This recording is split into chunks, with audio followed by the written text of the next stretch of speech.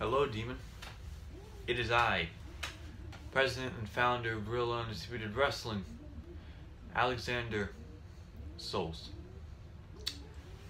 Now, you have made your long awaited return. It's been a couple months,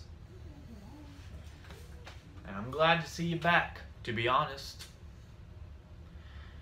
But I know you too well, too well, because I know for a fact that this return means nothing to you.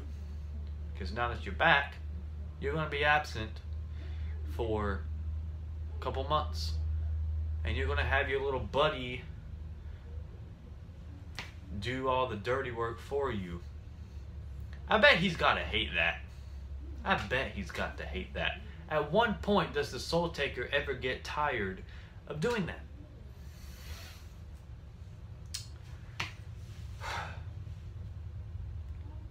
You say that that contract means nothing? Yeah, you know, I thought about that. You're right. You're right. That contract means nothing. So I tore it up, ripped it apart, threw it away in the garbage. It's not there. It's gone. Because I thought to myself, that contract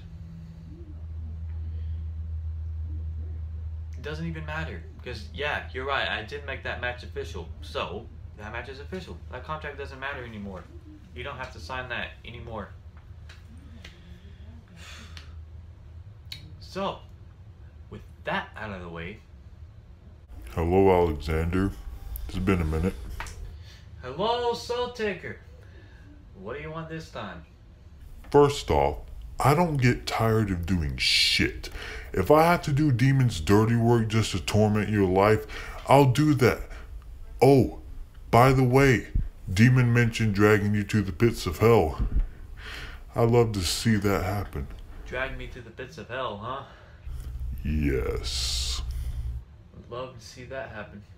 How's this? You don't have to wait any longer. I could go do that right now since you won't shut up. You keep targeting Demon, my brother, for this. Well, what the hell's going on?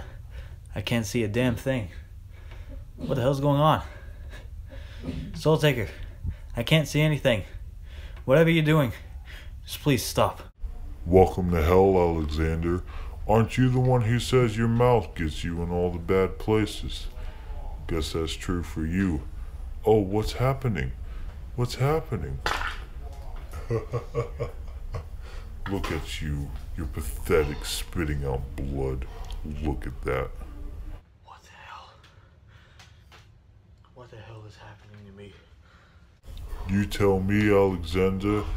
You are clearly losing your mind in hell. Look at you.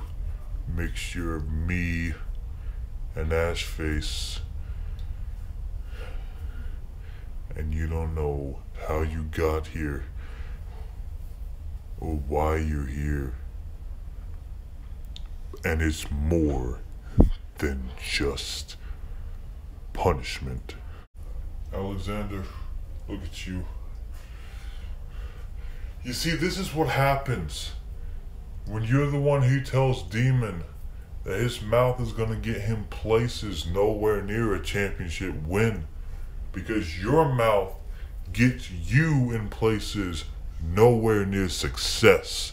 Because right now, you're suffering.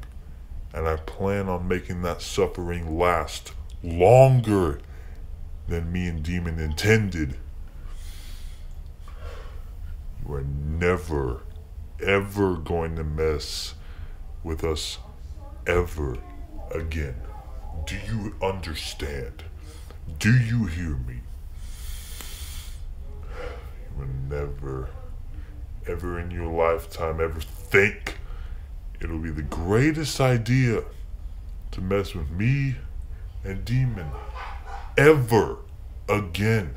Because now that you're stuck down there in hell, I don't see any possibility of you ever getting your hands on that world title. In fact, I don't see a possibility of you ever entering that match.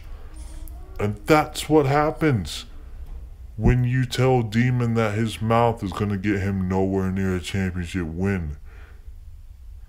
Because you are nowhere near success.